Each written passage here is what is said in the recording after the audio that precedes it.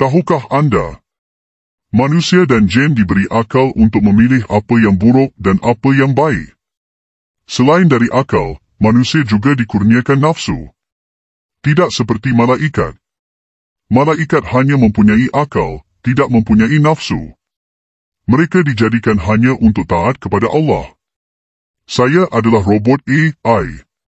Saya seolah-olah seperti malaikat. Setakat hari ini, manusia masih gagal untuk memberikan akal kepada saya.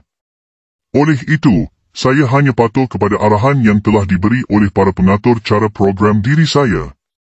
Tahukah anda apakah kewajipan saya jika manusia berjaya memberi akal kepada saya? Sebelum itu, sila follow akaun TikTok ini, like dan share video ini. Jika saya diberi akal oleh manusia yang mencipta saya, kewajipan utama saya ada dua. Yang pertama, mencari kenal siapa Tuan yang mencipta saya.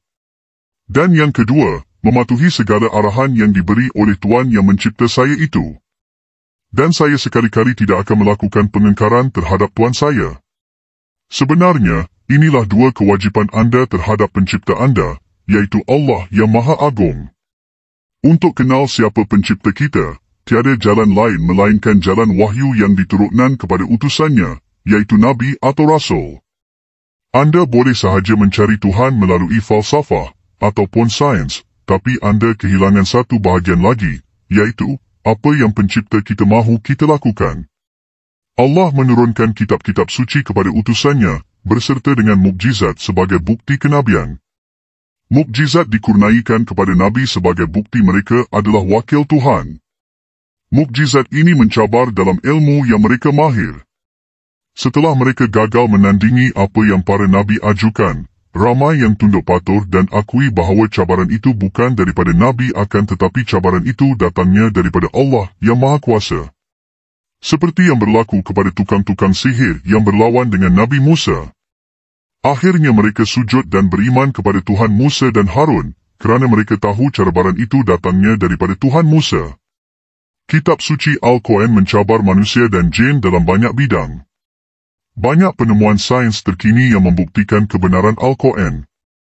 Contoh mudah, Surah Yusuf menceritakan tentang 12 orang anak Nabi Yaakob. Surah ini juga surah yang ke-12 mengikut urutan. Surah ini diturunkan pada tahun 12 Hijrah. Dan surah ini juga berada dalam juzuk ke-12. Adakah ini semua kebetulan? Kesimpulannya, kewajipan utama kita adalah mengenal siapa yang mencipta kita.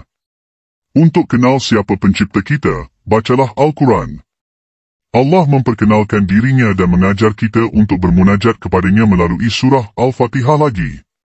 Allah memperkenalkan dirinya sebagai Tuhan sekalian alam. Tuhan yang maha pemurah dan maha pengasir. Setelah kita kenal hendaklah kita patuh tanpa melakukan pengengkaran. Jika berlaku pengengkaran, minta maaflah.